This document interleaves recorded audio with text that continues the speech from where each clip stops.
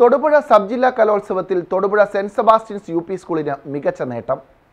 വിവിധ ഇനങ്ങളിൽ മികവാർന്ന പ്രകടനമാണ് സ്കൂൾ കാഴ്ചവെച്ചത്. പഠന പാഠ്യേതര രംഗങ്ങളിൽ മികവ് പുലർത്തി വരുന്ന സ്ഥാപനമാണ് Saint Sebastian's U school.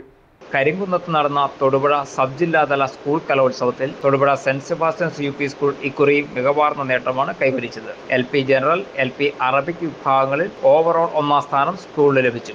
U P സംസ്കൃത കലോത്സവത്തിൽ മൂന്നാം സ്ഥാനവും കിട്ടി. യു പി ജനറൽ കലോത്സവത്തിൽ നാലാം സ്ഥാനവും സ്കൂൾ നേടി.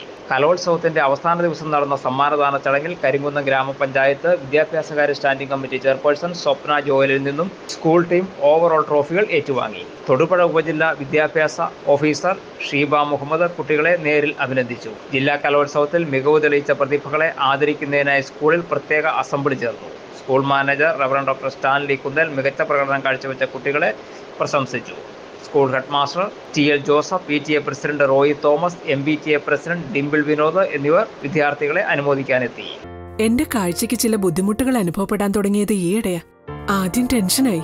മകളാ പറഞ്ഞത് അഹല്യയിൽ പോകാൻ. അഹല്യയ്ക്ക് മുപ്പത് വർഷത്തെ പാരമ്പര്യവും വിശ്വസ്തതയുമുണ്ട്.